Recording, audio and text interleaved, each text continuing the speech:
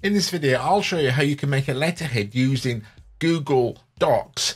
So you can end up with something like this. So you've got your logo at the top and your address and maybe something at the bottom. And this would be your letterhead template. Another option is where we take something like this. So you've got your logo, but we would be printing edge to edge. So if your printer would allow edge to edge printing, you would get this effect but you can also send them as PDFs. This gives you a bit more of a professional look. So if you've got a watermark or something like that, you can have it lapping the edge. So I'll show you how to do that. What we need to do is obviously fire up uh, Google Docs. The document is made up of the header, your content and the footer. Now we actually want to enter the header area. So if you move to the top, you'll see that slightly darker gray area there. We double click that. This is the header area. So if we go to insert, what we're going to do is put a table in. One row, two columns. Now, I'll leave the border on there at the moment. What we're going to do is get the address and the telephone number.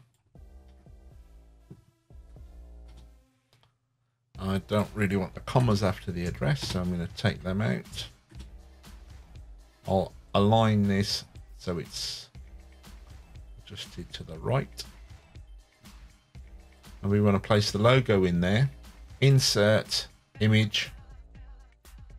Upload from computer. This one so we'll go to the gallery at Birmingham.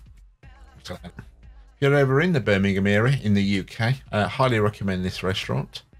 So that's the top that's the header. Now we've got the logo placed. What we want to do is obviously remove this border.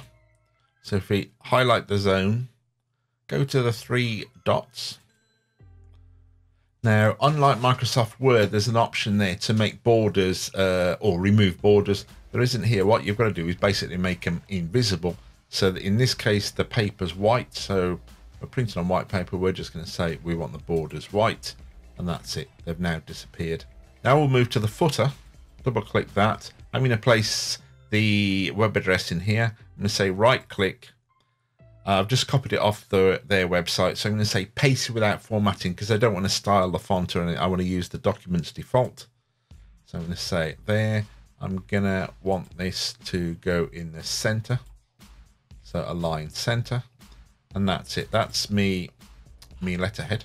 So now we've got that. What we want to do is create the next version. If you want to see how you can turn this into a template, uh, it doesn't work quite as Microsoft uh, Word does, there's an option there to save as template, and then every time you open it, it won't allow you to override the existing one. If you want to see how we can do that on Google Docs, let us know in the comments and I'll do that in a future video. So let's do the next template format. Now in this one, it, this is going to be full page. So let's go new. So this is going to be edge to edge. Now we've double clicked into the header. Let's find the image. I'm going to use a variation of this. In a previous video, some people couldn't see the rocket, so I've actually going to use a darker version so you can see it clearly on the video.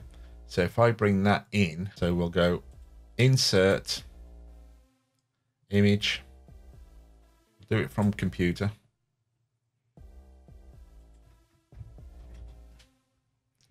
I'm going to go with the extra one because as I said, I wouldn't normally go this dark but I want it for obviously the video purpose. So now it's loaded. As you can see, it's now occupied the full page or as much as it can. We want this to obviously go corner to corner. You'll see I haven't got it. I need to click on the image, go to image options.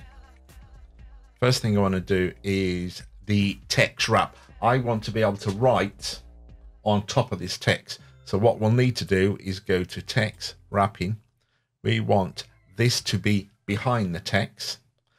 So the address here is actually part of the image. So this isn't uh, real text for want of a better word. So if we click on that, you'll see the header is now resized. Now what we want to do is get this into the corner. So we might be able to move that. So we could spend all day trying to move this image on the document. Or if we go to position, and we want fixed position on page. So we want to start it in the XY position. So we want to start it at zero, which moves it to the extreme left. And the Y position, we want to start it at zero. So this should move it to the extreme top. So that's it. Now the header itself, you'll see that bar there. What we want to do is when we start writing, we want uh, to be dropping uh, just below the logo. Another option, once you've moved and fettled with the header, if you are finding it difficult to move or get the precise measurements, you want, if you go to Format, Header Footers, we want to go to More Options, and you can see we've got that 3.76. Should ideally have my glasses on.